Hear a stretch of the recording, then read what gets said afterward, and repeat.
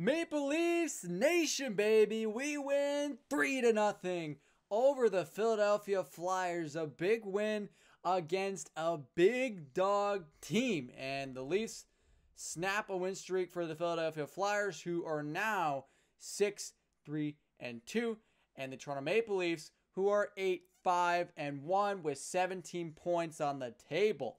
Ladies and gentlemen, that was incredible. What a game by the Leafs to shut out the Philadelphia Flyers, the big brutes of Philadelphia, and the fans were not having it tonight, that's for sure. What is up, guys? My name is Nicholas Scarcella. Welcome back to another video. Toronto Maple Leafs beat the Philadelphia Flyers 3 to zip, as I just said, and this was a doozy. Obviously, John Tavares not in the lineup due to a day to day injury. They're not sure what the injury is. They believe it was something to do with the injury he had before in the offseason, but they're not sure. They're still evaluating that. And so Semyonov from the AHL came up and played not in John Tavares' place, but on the fourth line with a couple of the guys like Spezza and Wayne Simmonds. And gotta be honest, Semyonov he looked really good in his first couple of shifts.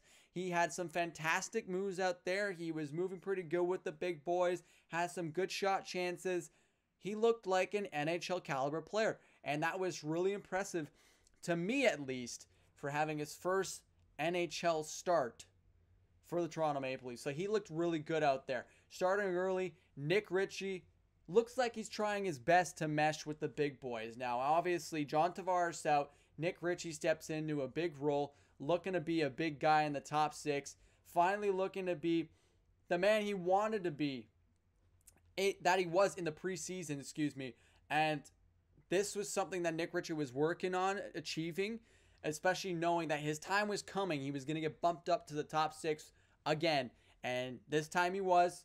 So, big moments for Nick Ritchie, and he absolutely killed it. He had an assist in the game, seven shots, played 20 minutes. Like, unbelievable game from Nick Ritchie. Really improved from the last couple games. And speaking of improvements, the penalty kill in this game, man oh man, it was by far one of the best things in this game, if not the power play to be the best thing in this game. The power play was exceptional, had some really good puck movement in this one, and honestly, this team just looked fascinating.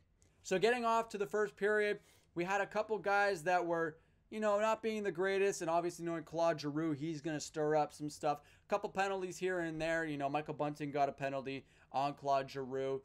Uh, David Kampf, I believe, got one too.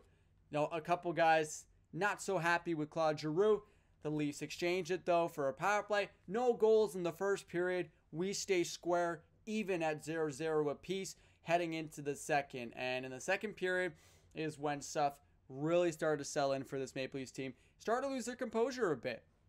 And I think that was part of Claude Giroux, you know, being able to get into the heads of the Maple Leafs.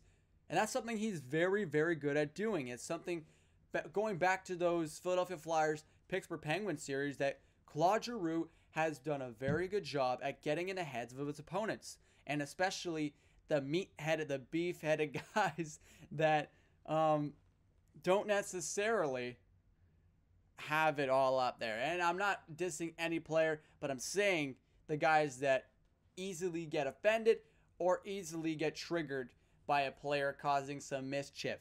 And that was what Claude Giroux was about in this one. So, knowing that mentality, Leafs needed a goal. They needed something to shake up the rhythm. Otherwise, this is going to turn into a mess, and the Leafs were not going to be without bloody hands at the end of this game if it did not turn around for the Maple Leafs with a goal.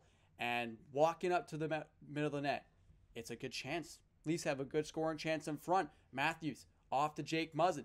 Muzzin passes it in front. William Nylander kicks it in the net, soccer style. Oh, wait.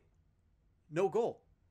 Well, the ref's going to the box and he's going to go see if this is a goal. Going back to look at the goal, it hits off of Nylander's foot first, then proceeds to have a kicking motion that looked like he kicked the puck in the net, but there was no kicking motion.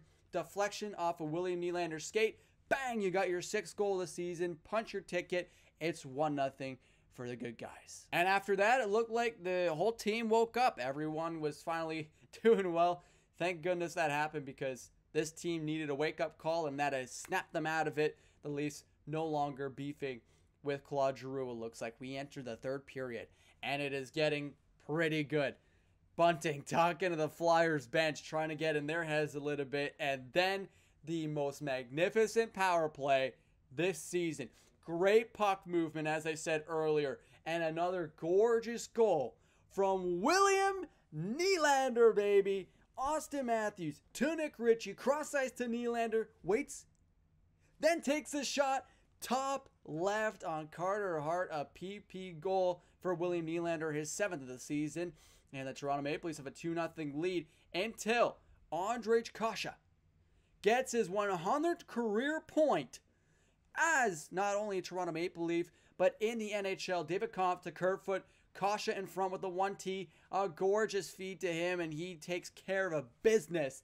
3 0 for the Maple Leafs. They win this game. It is their first shutout against the Philadelphia Flyers at the Wells Fargo Center since 2002, which was held by the one and only Eddie the Eagle Ed Belfour. So really, really good game for the Leafs. A lot of records broken in this one. You had obviously Semyonov playing his first game for the Toronto Maple Leafs. A couple guys like Timothy Liljegren got his first assist, assist with the Maple Leafs.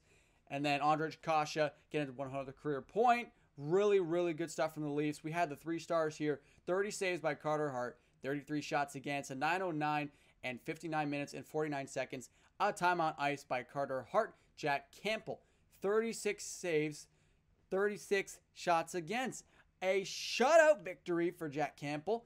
59 minutes and 47 seconds of time on ice for both goaltenders playing less than 60 minutes on the ice today. And two goals for William Nylander, no assists, plus one, 17 minutes, 45 seconds. The shots in favor of the Philadelphia Flyers by three, 36 for the Flyers, 33 for Toronto. The Flyers, obviously being the big brutes they are, had more hits in this one, 22 to 16. Faceoffs were well in favor of the Flyers, 37 to 27. Not having John Tavares and especially Kerfoot playing on the wing now, we're gonna have a less faceoffs than usual in this. And then we had more penalty minutes, trying to be the more chippy team, especially trying to target guys like Claude Giroux. So we have a big game coming up, and it's going to be on Friday, November 12th against the Calgary Flames, the dangerous Calgary Flames. 7 2 and 3 on the season, 17 points. The Leafs also with 17 points, but have played a couple more games, a buck or two over the Calgary Flames. So, yep, we're going to have to see what's going to happen here. Obviously, Jacob Markstrom most likely to play this game, and Jack Campbell most likely to play this game as well. Both goaltenders have amazing stats. Uh, four shutouts to Markstrom's name, by the way, and two shutouts for Jackie Boy Campbell. So, Soupy versus Markstrom. This is going to be an interesting matchup. Obviously, guys like Monahan have not played well for the Calgary Flames. Auston Matthews has not been playing well for the Leafs. You got a match made in heaven. You got guys like Matthew Tkachuk and Marner who have been playing fantastic. Nylander's been great. Hopefully, we can get Tavares back for this game. And then the Leafs can do what they do best and take care of business. But, anyways, guys, that is all I have to say for today. Hope you guys enjoyed this video.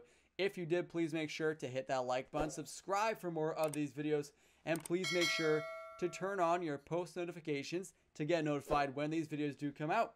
One more thing, please make sure to share this video with your friends and family. Helps me out a lot, guys, and I really do appreciate it. Thank you so much for watching today. I will see you all down at the Scotiabank Arena against the Calgary Flames, 7 p.m. on Sportsnet Now and Sportsnet 1. But anyways, until then, guys, take it easy.